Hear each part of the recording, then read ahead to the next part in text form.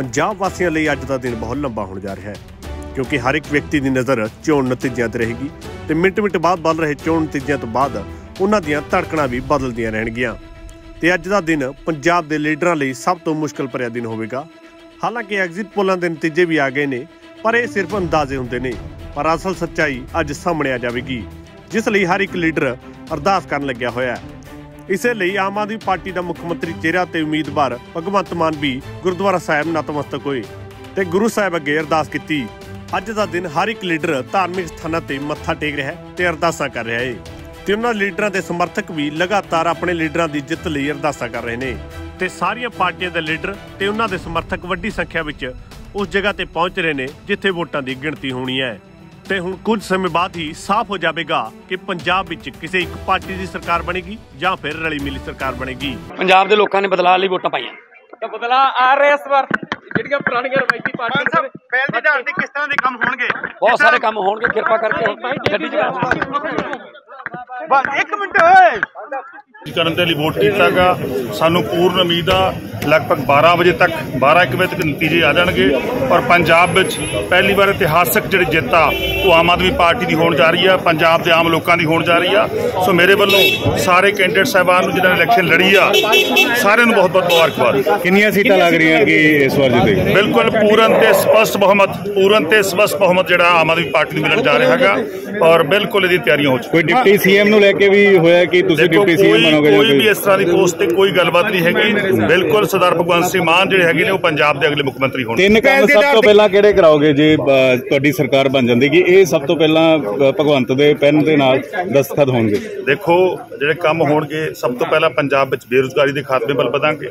ਪੰਜਾਬ ਵਿੱਚ ਅੱਛੀ ਐਜੂਕੇਸ਼ਨ ਪੰਜਾਬ ਵਿੱਚ ਅੱਛਾ ਸਵਸਥ ਸਿਹਤ ਸੇਵਾਵਾਂ ਜਿਹੜੀਆਂ ਆਮ ਆਦਮੀ ਪਾਰਟੀ ਨੇ ਜਿਹੜੀਆਂ ਗਰੰਟੀਆਂ ਦਿੱਤੀਆਂ ਨੇਗੀਆਂ ਉਹਨਾਂ ਗਰੰਟੀਆਂ ਦੇ ਉੱਤੇ ਆਮ ਆਦਮੀ ਪਾਰਟੀ ਡਟ ਕੇ ਪਹਿਰਾ ਦੇਊਗੀ ਡੀਜੀਪੀ ਕੋਈ ਚੀਫ ਸੈਕਟਰੀ ਵੀ ਤਿਆਰ ਕੀਤੇ ਨੇ ਕੋਈ ਇਸ ਤਰੀਕੇ ਦੀ ਵੀ ਤਿਆਰੀ ਹੋਈ? ਕੋਈ ਤਿਆਰੀ ਨਹੀਂ ਹੈਗੀ। ਹਜੇ ਅੱਜ ਜਿਹੜਾ ਹੈਗਾ ਰਿਜ਼ਲਟ ਆ ਜਾਣ ਦੋ। ਜੀਓ ਸਾਹਿਬ, ਆ ਜਾਣ ਦੋ ਸਾਰਾ ਕੁਝ ਸਮੇਂ ਦੇ ਨਾਲ ਹੋਊਗਾ। ਕਹਿੰਦੇ ਹਰ ਚੀਜ਼ ਦਾ ਪੇਪਰ ਵਰਕ ਕੀਤਾ ਹੋਇਆ ਤਾਂ ਇਹਨਾਂ ਚੀਜ਼ਾਂ ਨੂੰ ਵੀ ਕੀਤਾ ਹੀ paper work ਹੋਊਗਾ ਨਾ? ਦੇਖੋ ਹਜੇ ਕੋਈ ਪੇਪਰ ਵਰਕ ਨਹੀਂ ਹੈਗਾ। ਅੱਜ ਰਿਜ਼ਲਟ ਆ ਜਾਣ ਦੋ ਨਤੀਜਾ ਆ ਜਾਣ ਦੋ। ਚੀਮਾ ਸਾਹਿਬ ਬਾਅਦ ਕੈਪਟਨ ਸਾਹਿਬ ਨੇ ਚਾਰ ਹਫ਼ਤੇ ਚ ਨਸ਼ੇ ਦੇਖੋ ਹਜੇ ਕੋਈ ਤਿਆਰੀ ਨਹੀਂ ਪਰ ਹੋਈ ਜਿਸ ਤਰ੍ਹਾਂ ਕਹਿੰਦੇ ਨਾ ਮਾਫੀਆ ਖਤਮ ਕਰਕੇ ਪੈਸੇ ਇੱਧਰੋਂ ਲਿਆਉਣੇ ਕਹਿੰਦੇ ਰੋਡ ਮੈਪ ਤਿਆਰ ਆ। ਰੋਡ ਮੈਪ ਤਿਆਰ ਨੇਗੇ ਪਰ ਲੇਕਿਨ ਹਜੇ ਸਮਾਂ ਆ ਜਾਣ ਦੋ ਹਜੇ ਨਤੀਜਾ ਆ ਜਾਣ ਨਤੀਜੇ ਤੋਂ ਬਾਅਦ ਕਿੰਨੀਆਂ ਸੀਟਾਂ ਤੁਸੀਂ ਕਹਿ ਰਹੇ ਹੋ ਕਿ ਜਿੱਤੀਆਂ ਮੈਂ ਕਹਿੰਦਾ ਲਗਭਗ 85 ਤੋਂ ਵੱਧ ਸੀਟਾਂ ਜਿਹੜੀਆਂ ਆਉਣਗੀਆਂ ਔਰ 100 ਦਾ ਅੰਕੜਾ ਜਿਹੜਾ ਹੈਗਾ, ਉਹ ਵੀ ਪਾਰ ਹੋ ਸਕਦਾ। ਤੁਹਾਨੂੰ ਇੱਕ ਵਾਰ ਫੇਰ ਦੱਸ ਦਈਏ, ਪੰਜਾਬ ਵਾਸੀਆਂ ਲਈ ਅੱਜ ਦਾ ਦਿਨ ਬਹੁਤ ਲੰਬਾ ਹੋਣ ਜਾ ਰਿਹਾ ਹੈ, ਕਿਉਂਕਿ ਹਰ ਇੱਕ ਵਿਅਕਤੀ ਦੀ ਨਜ਼ਰ ਚੋਣ ਨਤੀਜਿਆਂ ਤੇ ਰਹੇਗੀ ਤੇ ਮਿੰਟ-ਮਿੰਟ ਬਾਅਦ ਬਦਲ ਰਹੇ ਚੋਣ ਨਤੀਜਿਆਂ ਤੋਂ ਬਾਅਦ ਉਹਨਾਂ ਦੀਆਂ ਧੜਕਣਾਂ ਵੀ ਬਦਲਦੀਆਂ ਰਹਿਣਗੀਆਂ।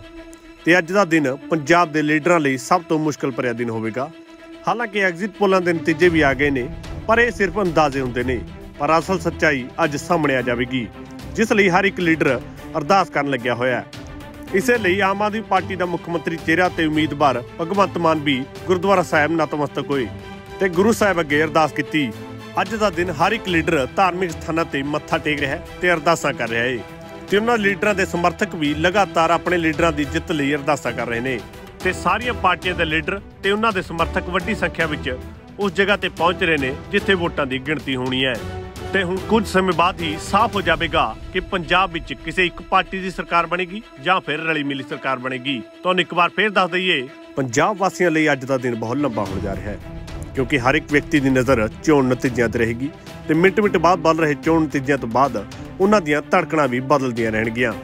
ਤੇ ਅੱਜ ਦਾ ਦਿਨ ਪੰਜਾਬ ਦੇ ਲੀਡਰਾਂ ਲਈ ਸਭ ਤੋਂ ਮੁਸ਼ਕਲ ਭਰਿਆ ਦਿਨ ਹੋਵੇਗਾ। ਹਾਲਾਂਕਿ ਐਗਜ਼ਿਟ ਪੋਲਾਂ ਦੇ ਨਤੀਜੇ ਵੀ ਆ ਗਏ ਨੇ, ਪਰ ਇਹ ਸਿਰਫ ਅੰਦਾਜ਼ੇ ਹੁੰਦੇ ਨੇ, ਪਰ ਅਸਲ ਸੱਚਾਈ ਅੱਜ ਸਾਹਮਣੇ ਆ ਜਾਵੇਗੀ। ਜਿਸ ਲਈ ਹਰ ਇੱਕ ਲੀਡਰ ਅਰਦਾਸ ਕਰਨ ਲੱਗਿਆ ਹੋਇਆ ਹੈ। ਇਸੇ ਲਈ ਆਮ ਆਦਮੀ ਪਾਰਟੀ ਦਾ ਮੁੱਖ ਮੰਤਰੀ ਚਿਹਰਾ ਤੇ ਉਮੀਦਵਾਰ ਭਗਵੰਤ ਮਾਨ ਵੀ ਗੁਰਦੁਆਰਾ ਸਾਹਿਬ ਨਤਮਸਤਕ ਹੋਏ ਤੇ ਗੁਰੂ ਸਾਹਿਬ ਅੱਗੇ ਅਰਦਾਸ ਕੀਤੀ। ਅੱਜ ਦਾ ਦਿਨ ਹਰ ਇੱਕ ਲੀਡਰ ਧਾਰਮਿਕ ਸਥਾਨਾਂ ਤੇ ਮੱਥਾ ਟੇਕ ਰਿਹਾ ਹੈ ਤੇ ਅਰਦਾਸਾਂ ਕਰ ਰਿਹਾ ਹੈ ਤੇ ਉਹਨਾਂ ਲੀਡਰਾਂ ਦੇ ਸਮਰਥਕ ਵੀ ਲਗਾਤਾਰ ਆਪਣੇ ਲੀਡਰਾਂ ਦੀ ਜਿੱਤ ਲਈ ਅਰਦਾਸਾਂ ਕਰ ਰਹੇ ਨੇ। ਤੇ ਸਾਰੀਆਂ ਪਾਰਟੀਆਂ ਦੇ ਲੀਡਰ ਤੇ ਉਹਨਾਂ ਦੇ ਸਮਰਥਕ ਵੱਡੀ ਸੰਖਿਆ ਵਿੱਚ ਉਸ ਜਗ੍ਹਾ ਤੇ ਪਹੁੰਚ ਰਹੇ ਨੇ ਜਿੱਥੇ ਵੋਟਾਂ ਦੀ ਗਿਣਤੀ ਹੋਣੀ ਹੈ। ਤੇ ਹੁਣ ਕੁਝ ਸਮੇਂ ਬਾਅਦ ਹੀ ਸਾਫ਼ ਹੋ ਜਾਵੇਗਾ ਕਿ ਪੰਜਾਬ ਵਿੱਚ ਕਿਸੇ ਇੱਕ ਪਾਰਟੀ ਦੀ ਸਰਕਾਰ ਬਣੇਗੀ ਜਾਂ ਫਿਰ ਰਲੀ ਮਿਲੀ ਸਰਕਾਰ ਬਣੇਗੀ। ਭਵਾਨੀਗੜ੍ਹ ਤੋਂ ਇਕਬਾਲ ਸਿੰਘ ਦੀ report D5 channel Punjabi. D5 channel Punjabi. ਹੁਣੇ ਸਬਸਕ੍ਰਾਈਬ ਕਰੋ ਬੈਲ ਆਈਕਨ ਤੇ ਕਲਿੱਕ ਕਰੋ। ਕੀ ਹੁੰਦੀ ਹੈ ਜਮਾਬੰਦੀ? ਕਿਵੇਂ ਬਣਦੀ ਹੈ ਵਸੀਅਤ? ਜ਼ਮੀਨ ਜਾਇਦਾਦ ਦੇ ਹਰ ਮਸਲੇ ਤੇ ਕਰਾਂਗੇ ਚਰਚਾ। ਦੇਖਣਾ ਨਾ ਭੁੱਲਣਾ ਸਾਡਾ ਖਾਸ ਪ੍ਰੋਗਰਾਮ ਨਾਇਬ ਤਹਿਸੀਲਦਾਰ.com ਕਾਨੂੰਨ ਜਾਇਦਾਦ ਦਾ। ਵਿਧਾਨ ਸਭਾ ਨਤੀਜੇ D5 ਦੇ ਨਾਲ ਖੁੱਲੇਗੀ ਉਮੀਦਵਾਰਾਂ ਦੀ ਈਵੀਐਮ ਮਸ਼ੀਨਾਂ 'ਚ ਬੰਦ ਕਿਸਮਤ। ਕੌਣ ਬਣੇਗਾ ਐਮਐਲਏ ਕਿਹਦੇ ਸਿਰ ਤੇ ਸਜੇਗਾ ਮੁੱਖ ਮੰਤਰੀ ਦਾ ਤਾਜ? ਕਿਹੜੀ ਧਿਰ ਨੂੰ ਮਿਲੇਗਾ ਬਹੁਮਤ? ਕੀ ਸੱਚਮੁੱਚ ਬਹੁਮਤ ਨਾਲ ਹੀ ਬਣੇਗੀ ਸਰਕਾਰ? ਵੋਟਾਂ ਦੀ ਗਿਣਤੀ ਸ਼ੁਰੂ ਹੋਣ ਤੋਂ ਲੈ ਕੇ ਅੰਤ ਤੱਕ ਦੇਵਾਂਗੇ ਹਰ ਹਲਕੇ ਦੀ ਜਾਣਕਾਰੀ। ਸਾਰਾ ਦਿਨ ਰਹਾਂਗੇ ਤੁਹਾਡੇ ਨਾਲ। ਦੇਖਣਾ ਨਾ ਭੁੱਲਣਾ 10 ਮਾਰਚ ਨੂੰ ਲਾਈਵ ਪ੍ਰੋਗਰਾਮ ਵਿਧਾਨ ਸਭਾ ਚੋਣਾਂ 2022 ਫੈਸਲਾ ਪੰਜਾਬ ਦਾ।